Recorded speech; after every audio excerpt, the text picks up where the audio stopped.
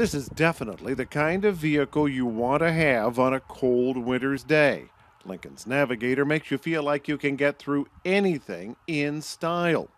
This is obviously the all wheel drive version, but you can also get two wheel drive. The style has been improved with a much better exterior look and a greatly improved interior. And while the snow is falling outside, it feels kind of nice to be snug inside the Navigator where you have all the comforts of home and maybe a bit more. It's been a while since Lincoln has redone the Navigator. Its My Lincoln Touch system is there, but it's much more user friendly with knobs instead of sliders. That doesn't hurt the rich feel accented by wood and rich leather.